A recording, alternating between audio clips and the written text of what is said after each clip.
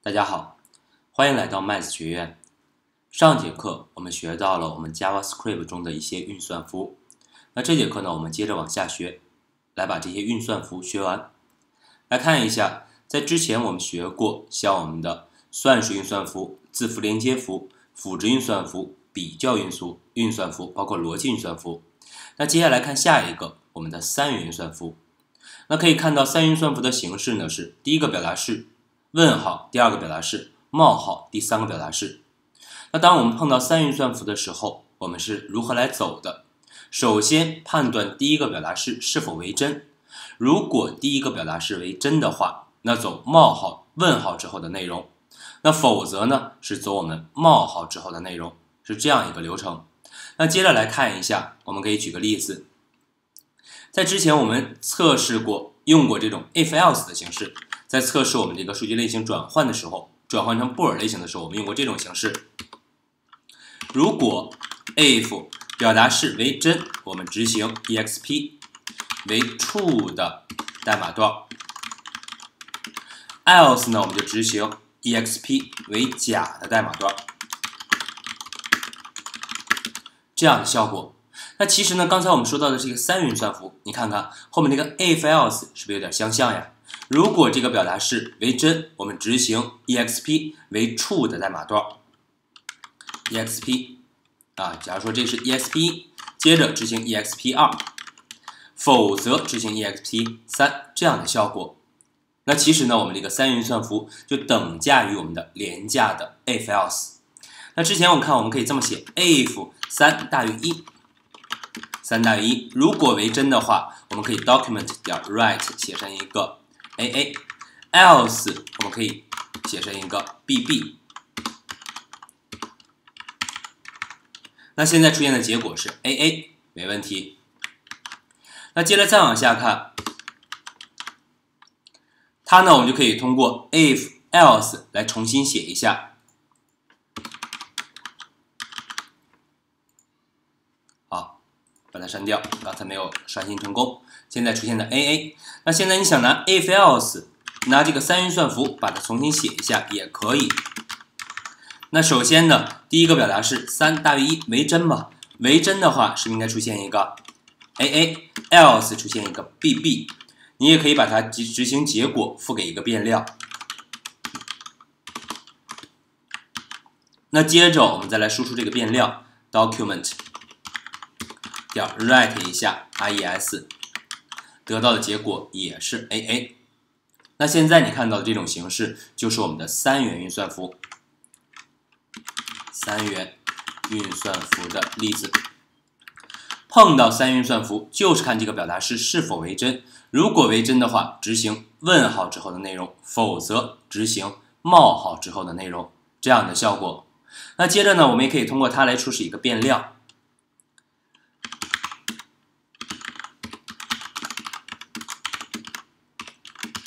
可以判断一下这个变量是否有值。假如说 var_x 如果有值的话，用 x；否则的话，我们可以啊，或者说咱们可以判断一下是否是一个数值。is nan 的 x，如果是的话，如果不是一个数值的话，代表它返回为真。那这时候我给它初始化一个零，否则呢就用这个 x，把它的结果我们也是赋给一个 res。那现在看一下，在这块我们就可以写成一个 vrx 等于一个零除以零，那这时候它返回的就是一个 none。那如果是 none 的话，证明它不是一个数值，返回的是真。接着我们给它初始化为一个零，你可以 alert 一下 x，得到的是 alert 不是 x，alert 结果 res，那应该是一个零。那如果说 x 要是一个数值的话，x 等于一个一二三，那这时候 i.e.s. 就是一个一二三，也可以用到的，就是我们这个三元运算符，它就等价于我们的廉价的 if else 的效果。好，这个呢不不难。接着再往下看，在我们的运算符中还有一些其他的运算符。首先第一个就是我们的逗号运算符。那逗号呢可以用来将多个表达式连接为一个表达式。那新表达式的值呢为最后一个表达式的值。多用在我们这个变量的声明处。那什么叫做这个逗号呢？其实我们也写过，你看我们可以这么写：一次声明多个变量，我们是不是就可以拿逗号来分隔呀？我们再来一个一例子，逗号表达式。test 六，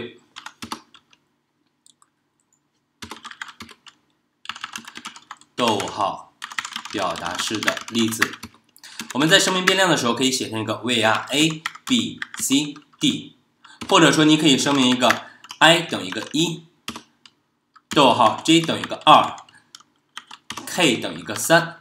那现在这是不是都是通过逗号来分隔的呀？这就是我们逗号表达式。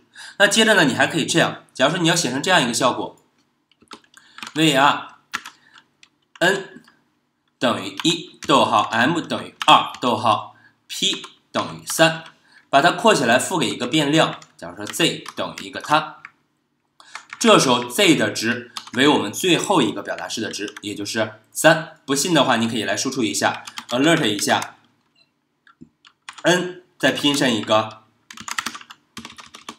反斜杠 n，再拼成一个，再拼成一个啊，z，咱们输出拼这个 z，再拼成一个 n，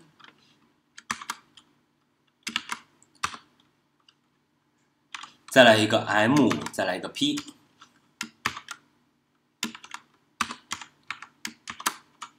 好，看一下执行的结果，z 的值应该是三。你看到，接着 n、m、p 分别是一二三，这个没问题。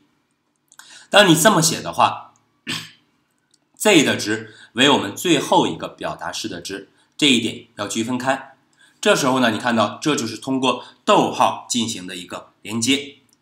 那我们这个逗号运算符呢，也经常像用到我们这种变量声明的这一块儿，你可以通过逗号来分隔啊。接着再往下看。第二个特殊的运算符就是我们的 void 运算符。那 void 运算符呢，用来指明一个表达式无返回结果。像我们以后用到的函数，可以代表没有返回值，或者说没有参数，也可以通过它来代告诉我们这个啊 JS，我们这个表达式是没有一个返回结果的。就拿我们刚才这个为例，你看我们刚才写过这个效果，z 等于 n 等于一。逗号 m 等于二，p 等于三，接着 z 的值是不是这个表达式的最后一个值啊？那接着如果不想要这个值，你可以这么写，void 运算符，可以完全的加上一个，写成一个啊，z 等于一个 n 等于一，逗号 m 等于二，逗号 p 等于 p 等于三，接着。如果代表没有返回值的话，你在前面加上一个 void，这时候你再看 alert 一下这个 z，得到的结果，好，alert z 看好了，它是一个什么呀？undefined，代表的是和刚才一样吗？刚才我们得到的是不是这一块还看到了是三一二三？接着你加了一个 void，代表的是这个返表达式没有返回值，默认的也是我们的 undefined，代表的是为未定义的，未定义的，这也是我们 void 这个运算符的作用。加和不加，我们已经看到了这个效果了。这是 void 运算符，也比较简单。那接着再往下看最后一个，最后一个呢是我们的 typeof，其实呢这个我们也用过。typeof 用运算符呢，是用来返回一个字符串，返回的是我们这个操作数的这个数据类型，可以通过它来得到我们这样这个变量的类型，也可以。接着我们可以来试验一下，简单的来写这几个 alert 呢，我就注掉了，alert 一下啊，就或者 var x，首先 alert type of x 得到的应该是什么？对，undefined 未定义，声明了没给它赋值。那接着再写一个 x 等于一个一二三，这是一个什么呀？数值型 number。接着还可以 x 等于一个字符串型 king，这就是一个 string。包括 x 等于一个布尔类型，得到的是布尔。最后呢，x 还可以等于一个 none，得到的是对象。接着 x 还可以等于一个 undefined，那现在就是一个 undefined 这样的效果，可以通过 type of 来检测我们这个啊变量的类型，但是需要注意，我们 non non 类型它返回的这个值是一个 object，是一个对象。同样的，你还可以写 x 要等于一个数组，一二三。那你看到返回的也是一个对象，没关系，在之后我们会学到啊。通过 type of 可以检测变量的类型，它返回的就是这样一个变量的类型。这就是我们常用的这些运算符。那这些运算符学完之后，你发现有这么多运算符。那当我们这些运算符一起来作用的时候，我到底该先算谁，后算谁？这时候就有了一个运算符的一个优先级，运算符的优先级。那接着你可以看到，我们在这块也给大家列了这样一个表，在我们的 JavaScript 中，我们这个优先级包括还有这个结合性，优先级高的运算符它会先被执行。那如果说啊优先级相同的话，放在这一行中的这些运算符，它的优先级是相同的。那相同的话，就要会按照它的出现顺序进行一个计算。根据它的结合性，根据它的结合性，分为我们的左结合和右结合。那左结合呢？假如说我们写的这样的效果，像 a 加 b 加 c，那左结合先算 a 加 b，这就是左结合。那先算 b 加 c，这就是右结合。那可以看到这样一张表，这些运算符呢，可能有的我们也没说，像这种按位的运算，我们就没有说。用的没有那么多的话，我们就不用刻意的去记。还有一些根据对象的运算符，这一手这一块我们也没有讲，在之后的课程中我们会学到这个对象。接着再往下，这个表中的运算符从上到下依次降低，依次降低。接着在一行中，这个在同一行中的运算符。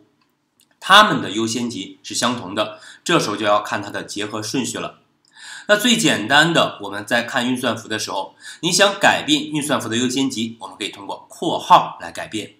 那举一个简单的例子，像我们之前就学过这种效果。你想算一个 alert 一下，一加二乘以四，那我们知道的结果应该是九。